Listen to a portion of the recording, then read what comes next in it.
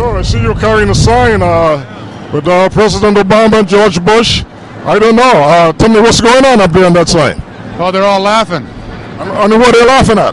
They're laughing at you Wow, and why are they laughing at me? because they, they, they made you think that you had a choice. I see. So you're telling me we voted and our vote was for nothing?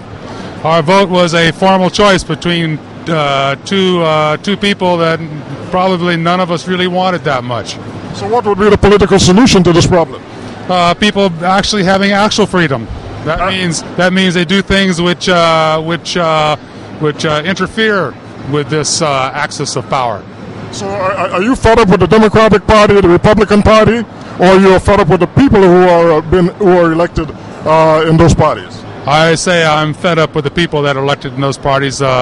Uh, they have only been able to get into those positions because they uh, were able to be supported by heavily moneyed uh, people with uh, with their own special interests, and uh, these are not necessarily the interests that are best for us or the world in general. So do you think that we will see some people coming out out of this movement that will uh, go into government, that will go to Washington and make some changes? I hope so.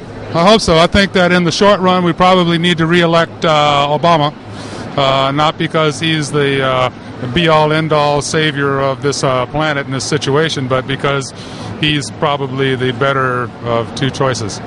And uh, but hopefully, this second time around, he will actually reveal that he's much more progressive than than than, he, than, he, than he's been uh, acting, and hopefully, we will have enough political power to make him do more of what we really want him to do. Well, there are multiplicity of issues here uh, with the Occupy Wall Street movement. There's no one issue. Uh, what what would be the issue that is most important to you here? Uh, me, it would be probably to somehow interfere and intervene in the existing axis of political power. And that would be a very general, but actually a very uh, central thing that we can all work on. There's a lot of people here who want a lot of different things, and uh, I don't agree with all of them, uh, but I agree with most of them. And you know, it's crazy. I mean, right now we've got two parties, each of which have a billion dollars each, which they're going to use showing us television commercials for the next year. You know, we're gonna we're gonna see so much so much crap on TV and everywhere we look, giving us a choice between uh, Obama and whoever the Republicans end up running, and uh, that's just money that could be much better spent. I mean, we got a lot of people that are starving in this country. We got people that are in need of education. We need to spend money on retraining people so they can do the jobs. Uh, I've been watching CNBC. So, so now, now you're talking about the solution to the problem. Uh, the solution to the problem, part of the solution to the problem is going to be to educate people so they can do the jobs that are that exist in the 21st century.